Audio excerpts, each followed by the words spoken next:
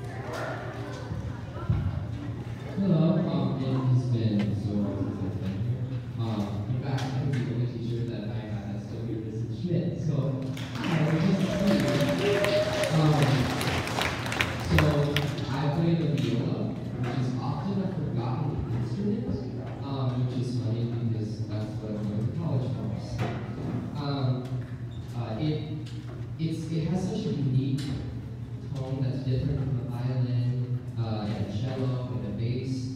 Um, so quickly, I'm going to play a short part of a piece I recently played with actually a huge symphony orchestra in March, and nothing a little bit